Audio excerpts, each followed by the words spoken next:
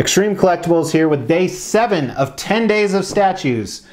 I can see the finish line, and then I'm going to take a day off and start over again. Not, not uh, do 10 days again, but I'll go back to every other day. So uh, it is a little exhausting. It's time, baby. You know what time it is?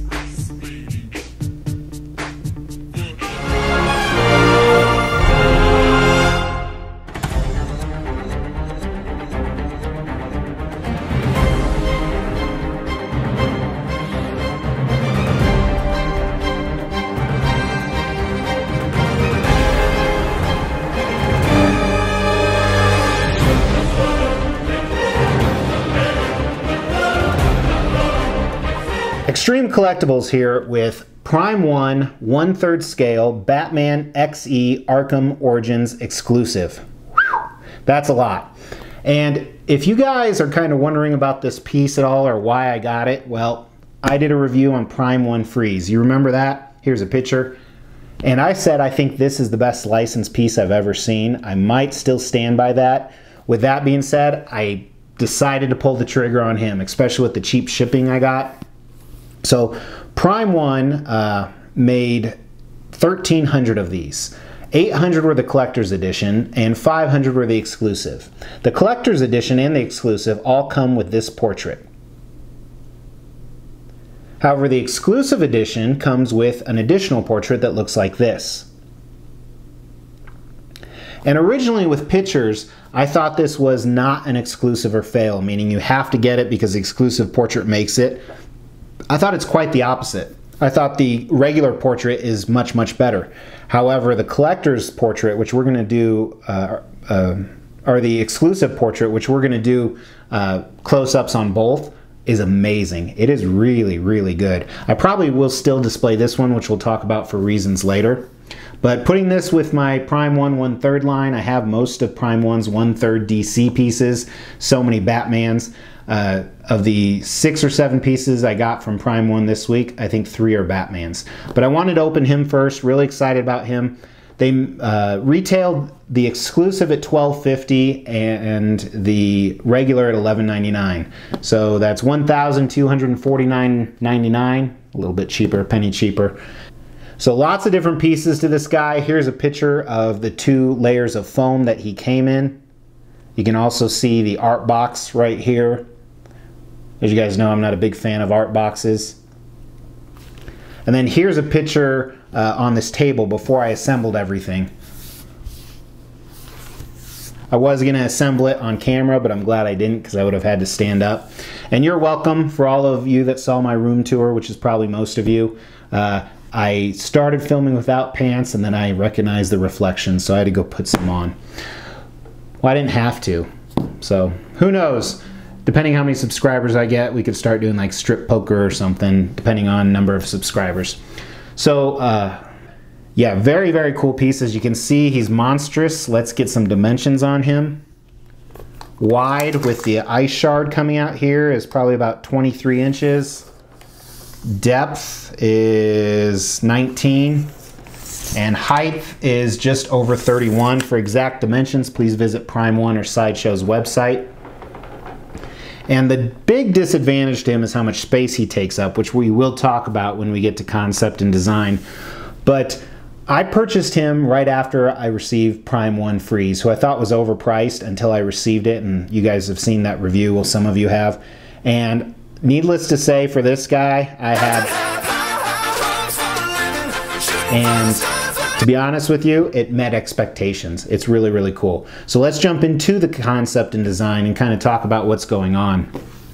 So first, you'll notice when we get to paint and sculpt, when I talk about the base, it's a lot of the same uh, as it was with Mr. Freeze. They kind of move stuff around, but all the awesome, awesome qualities of the base with Mr. Freeze are on here. So he is in Mr. Freeze's lair, his hideout, hence this huge snowy, icy base that's generating, you know, uh, snow and ice and chill in the air. And Batman is in his XE suit. This is his anti-freeze suit, whether he has snowshoes or insulation. And there's even these orange uh, coils uh, keeping him warm throughout the entire thing. And he's just body armored it up all the way to the top. And he's lurching along almost like he's coming straight at Mr. Freeze. I would have loved to put Mr. Freeze right next to him, but I honestly don't know if this table could uh, handle both of them. The, uh, the amount of weight on this guy is unbelievable. So, uh, so design-wise, very, very clever how they did this. A few different things going on. So first of all, the base is, again, very similar to Mr. Freeze. Nothing really, really crazy or unique or anything like that. Um, apart from Mr. Freeze. Let me say that. Well, I already kind of hinted at the fact that the base is way too big. He takes up way too much room. It's almost as much room as two Prime 1 statues, so that's kind of unfortunate. But uh, he is lurching forward, so that makes sense. As far as going together, the three ice shards are a different piece.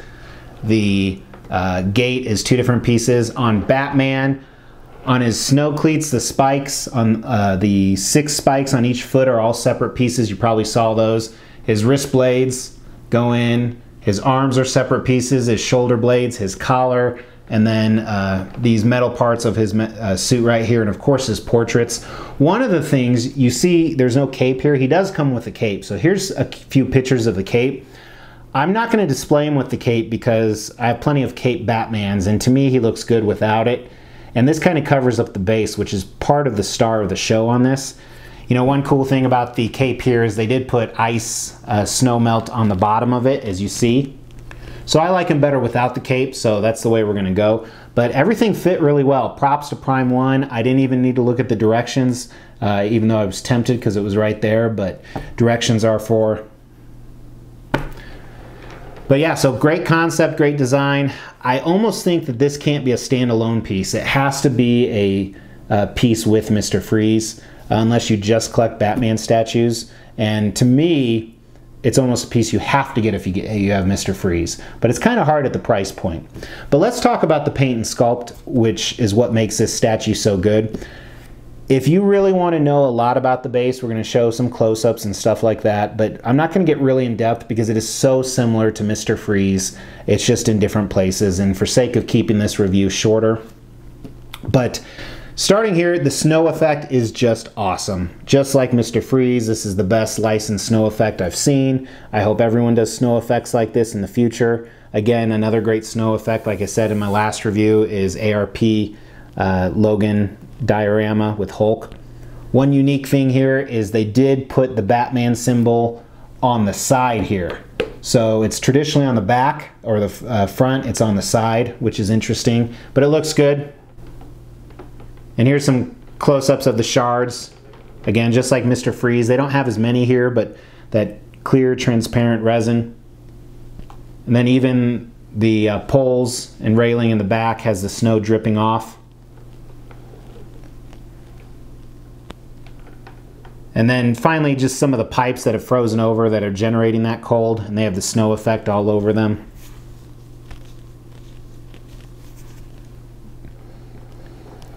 Super, super cool. I absolutely love it. Um, then Batman, just like Mr. Freeze, he's freaking awesome. He They did a really, really good job, and so let's just dive right in, starting at his shoes. So first of all, again, the snow effect, and the snow effect kind of stops at his shoes, which is interesting. So he hasn't fought Mr. Freeze yet, otherwise it was splashed up farther. But he has these, you know, camo style, not camo, but rugged style boots with these spikes, and the spikes are digging into the ground where he's pressing forward. Just really padded up shoes, and I like the color, it's grays and blacks to kind of differentiate it. And then he has the armor both on the front and back of his legs. Those armor plates part of his XE suit. And then he has these straps that look like mixed media, but they're sculpted in, these black straps in between. And then you see kind of the insulated clothing he's wearing beneath his knee pads, kind of another off color. And you'll see this in his crotch and, and partly on his arms and his chest. And then he has these metallic braces that I assume are to help uh, keep the suit cold. And notice on his knees, at first I thought these orange reddish things were just really cool uh, designs, but I think they're actually kind of like heat, co uh, heat coils to keep him warm.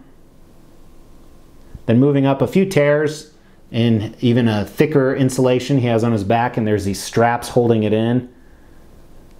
Then his crotch isn't as big as I would think for Batman, but he has a zipper there because just in case, you know, probably needs easy access. And then on the back, you can see his ass, and there's this big fold that could be kind of a uh, uh, maybe zipper too for easy access to take a dump without taking all this stuff off. Who knows? Awesome, awesome utility belt. Not your traditional Batman utility belt, more like a a army belt with these awesome sculpted pouches and almost looks like a few grenades and a huge belt clip in the middle with some uh, slashes in it. And then what's really interesting to me is he has this, I don't know why they did this, it looks really good, but his uh, outerwear armored uh, insulation has a six pack. So obviously that couldn't be his his actual six pack, but they created it like a six pack. And it looks really good, even though conceptually it's kind of dumb. And then you see a ton of those heat coils right up here, all over, which makes sense. They'd want his chest to stay warm. His bat uh, symbol looks awesome with a few scratches on it and the armor uh, plates around it.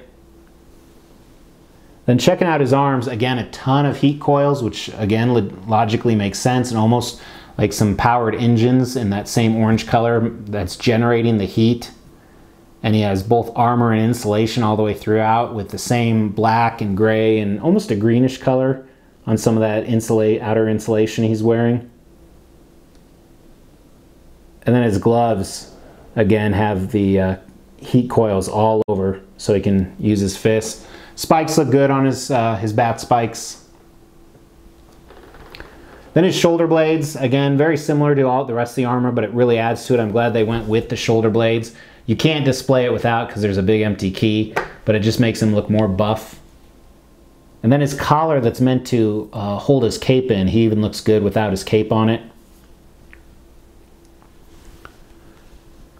And then starting at his uh, exclusive portrait, so here he doesn't have a mask over his uh, face, but it is still a uh, cold suit helmet because around the jawline, you kind of see the mechanics of the, uh, I don't even know what I'm saying here. You know, you can tell, you know what I'm saying. I don't even need to say it. I should do silent reviews for now but just look at this face awesome, awesome sculpt. I want to see if this head's going to fit on any one third other Batmans because it's so good. The flesh tones and the sculpt and the stubble and the pink lips. And a few gashes on his head too. So he's definitely been in a fight on this one. But fabulous job on this. And same thing can be said. It's the, almost the same expression and sculpt on the one where he has the mouth plate. The mouth plate looks badass too a few uh, rips on that, but just this black, black color. Kind of reminds me of the uh, black head on XM Bat Samurai.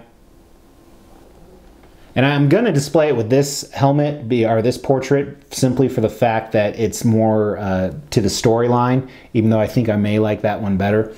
But uh, like I said, I'll see if the other one can, it's sitting over here, by the way. I'll see if uh, this one can uh, fit on another Batman.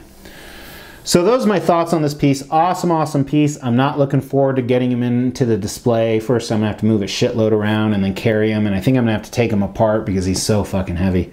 Oop, can I say that on YouTube? I just said it. So uh, thanks for watching, guys. Let me know what you think of this piece. And again, what is your favorite one-third Batman piece to date? Not Batman villain, but actual Batman piece. If you haven't subscribed, go ahead and subscribe. And thanks again. Really appreciate it.